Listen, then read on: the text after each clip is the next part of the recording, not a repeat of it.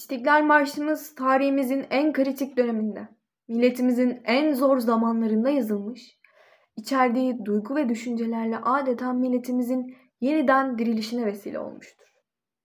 Kendisi de vatan ve millet sevdalısı olan Mehmet Akif Ersoy, İstiklal Marşımızın her dizesinde vatan sevgisini vurgulamış, halkın umuda ve cesarete ihtiyacı olduğu günlerde kaleme aldığı İstiklal Marşı'na Korkma, sönmez bu şafaklarda yüzen al sancak sözleriyle başlamıştır.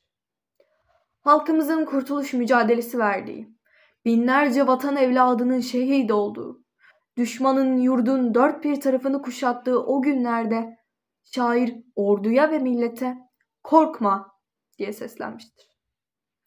Mehmet Akif Ersoy tarihte hiçbir zaman esaret altına giren bir millet olmadığımızı hatırlatmak ve Türk milletinin ilelebet payidar kalacağına olan inancını vurgulamak için ben ezelden beridir hür yaşadım, hür yaşarım. Hangi çılgın bana zincir vuracakmış şaşarım ifadelerini kullanmıştır.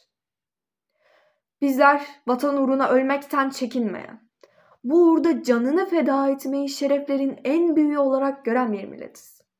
Asırlar boyu istiklalini koruyan milletimizin son kalesi olan Anadolu topraklarını korumak için büyük mücadele veren ordumuza şair şöyle seslenmiştir. Arkadaş, yurduma alçakları uğratma sakın. Siper et gövdeni, dursun bu hayasızca akın. Doğacaktır sana vaat ettiği günler hakkın. Kim bilir belki yarın, belki yarından da yakın. Yine yurdumuzun sadece bir toprak parçasından ibaret olmadığını, her karışının şehit kanlarıyla sulandığı vatan topraklarının ecdadımızdan kalan kutsal bir emanet olduğunu vurgulamıştır.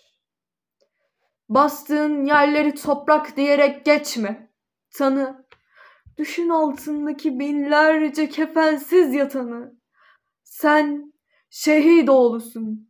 İncitme yazıktır atanı. Verme dünyaları alsan da bu cennet vatanı. Milletimizin varı yoğu elinden gitse bile herkesin tek duası vatanından olmamak ve özgürlüğünü kaybetmemektir. Vatanı için yıllarını cephede geçiren askerler, evladı kucağında cepheye mermi taşıyan kadınlar, geri dönmeyeceğini bile bile evladını savaşa gönderen analar, bu memleketin ezeli kahramanlarıdır. Bizler de o kahramanlar gibi vatan sevgimizi yüreklerimizde taşıyoruz. İşte o sevginin konu alındığı İstiklal Marşımızda Mehmet Akif Ersoy mısralarıyla duygularımıza tercüman olmuştur.